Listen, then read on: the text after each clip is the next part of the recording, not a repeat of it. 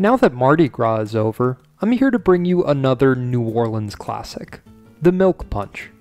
Traditionally made with brandy, we'll be putting our own bodega spin on it by using rum instead.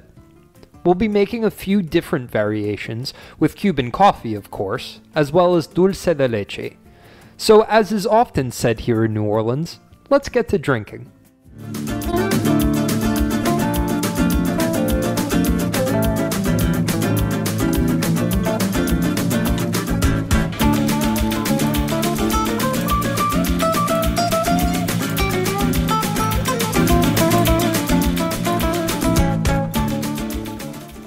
As you may have guessed, I enjoy my classic cocktails, and the milk punch is no exception.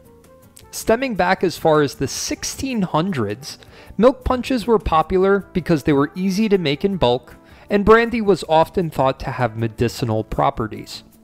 Modern day hospitals may want to take note, because that sounds like an excellent patient experience to me. Milk punches were popular back then because they could also be made shelf stable through clarification. This process adds some sort of acid to curdle the milk before straining the solids. As you might have guessed by the name, this leaves you with a clearer, smoother end product, but also one you can bottle without needing refrigeration. Even Benjamin Franklin had his own recorded recipe for a clarified milk punch, and if it's good enough for a founding father, it's good enough for me. We won't be getting too fancy by clarifying though, at least for this video anyway. Besides, the advantage of not clarifying your milk punch means you end up with a creamy dessert drink that's excellent for holiday parties and is very popular here in the South. We'll start off by making a classic milk punch using a recipe adapted from the legendary New Orleans restaurant, Commander's Palace. But, like any prototypical Cuban, I prefer rum, so I'll be using that here instead. This traditional version comes together quickly. We'll be using 2 ounces of aged rum. I'm using Appleton Estate here, but anything that's smooth and nutty with notes of vanilla will work perfectly. We'll add it to a cocktail shaker filled with ice, along with 3 quarters of an ounce of cane sugar syrup that I've shown how to make before. As I've mentioned when making old fashions, this ratio helps the syrup keep better, and the turbinado sugar gives more flavor and a molasses-like sweetness when compared with regular white sugar. We'll also be using 1 ounce of milk, half an ounce of cream, and a bar spoon of vanilla extract. Shake well until it's ice cold before straining it into an old fashioned glass. Garnish with some cinnamon and nutmeg, and enjoy! Sipping this in March, we may be a ways off from Christmas, but this drink still takes me there. In my opinion, rum just plays better with the ingredients that we have here. The baking spices, the vanilla, the rich sweetness. Feel free to use brandy as originally intended for a more traditional feel, but let's get into some of our other variations that may just change your mind. First up will be our dulce de leche milk punch. For those of you who haven't had the pleasure, dulce de leche is just condensed milk that's been heated low and slow until the sugars caramelize. Similar to the turbinado sugar we've used, this gives it a deeply rich, toasted, molasses-like flavor. Dulce de leche is incredibly viscous however, so to incorporate it into our cocktail, we'll have to melt it down into our milk so it can be poured. Dulce de leche is incredibly easy to make, but I have some already prepared in the fridge. I inadvisably transferred it to a squeeze bottle though, of which it has no hope of piping out. So I implore you to learn from my mistakes, as I take 3 quarters of an ounce of it, adding it to a small saucepan with 1 ounce of milk. Feel free to scale this ratio up if you'd like to make ahead of time or prepare in bulk for a holiday party. Heat it very gently, stirring until the caramel dissolves and you're left with a richly colored liquid. We'll add the 1 and 3 quarter ounces here to our cocktail shaker filled with ice, along with 2 ounces of rum and another bar spoon of vanilla. We won't need any more sugar or cream here, so give it another shake, strain, and garnish up with some more cinnamon and nutmeg. Cheers!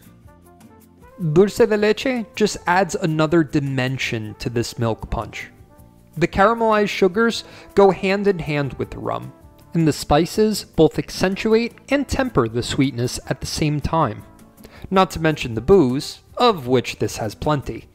David Wondrich, one of the best authorities on cocktail history, dug up this quote from an old newspaper, the Brooklyn Eagle. Milk punch is the surest thing in the world to get drunk on, and so fearfully drunk that you won't know whether you're a cow, yourself, or some other foolish thing. Sitting here two milk punches deep, I'm inclined to agree.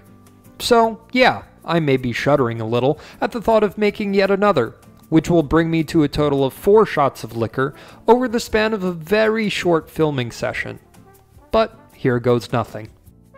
We're saving the best, but also the most dangerous, for last, because our last variation will perhaps predictably contain Cuban coffee. Because I'm a glutton for punishment, it contains a shot and a half of this stuff, so there will be a healthy mix of both uppers and downers in my bloodstream by the end of this video. But my mom didn't raise a quitter, and we're soldiering on. Besides, it looks like I'll have some moral support for this last round, much to the dismay of my clean countertops. Add an ounce and a half of unsweetened Cuban espresso to a small saucepan along with 3 quarters of an ounce of condensed milk and half an ounce of cream. Be sure to check out my previous video to learn how to make the coffee, but make sure you aren't adding any sugar here, since we're using the condensed milk. Just like before, heat gently and stir until it dissolves. This is another one you can scale up for convenience if you want to make it in bulk. We're adding this portion to our cocktail shaker along with plenty of ice 2 ounces of rum, and a bar spoon of vanilla. Shake well and pour your death sentence into an old fashioned glass. I'll leave off the cinnamon and nutmeg, garnishing with a few coffee beans instead. Consider this my advisory to proceed with the caution I clearly don't have before taking your first sip. If this is the way I go out, then so be it. I've made my peace with the mortal plane. This is absolutely worth it. The coffee and the rum coexist in a beautiful harmony. It's creamy, it's boozy, it's everything you could want. Maybe I'm just absolutely tanked right now, which would explain why my favorite little bodega cat is getting some extra affection. But I can't really think of coherent ways to describe this other than saying you have to try one for yourself. It may not be up to everyone's specifications, but it certainly meets mine. This will appropriately be my mental note to make fewer alcoholic drink variations for future videos. But after today, I don't want anyone coming after me saying I have weak pours. Because in this New Orleans inspired drunken delirium, I turn instead to the San Diego native Ron Burgundy for his wisdom. Milk was a bad choice. You know what's also a bad choice? Procrastinating this filming session and having one of these after midnight. So if you don't mind me, I'll be having a different kind of shot as today's nightcap.